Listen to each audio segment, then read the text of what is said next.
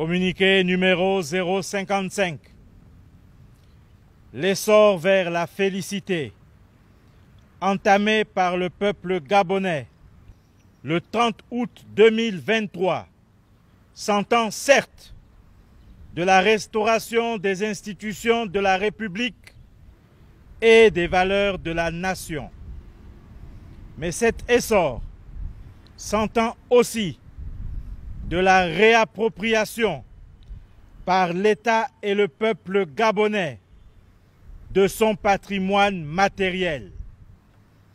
Respectueux des engagements pris devant le peuple gabonais, le CTRI annonce le lancement dans les tout prochains jours d'un audit général, financier, technique, immobilier et mobilier de la holding Delta Synergie.